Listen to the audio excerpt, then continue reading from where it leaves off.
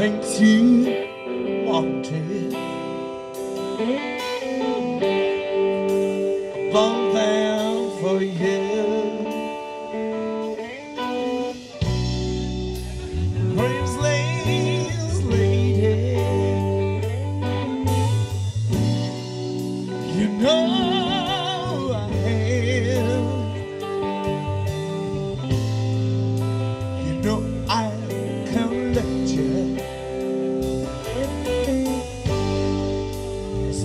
thrill my head.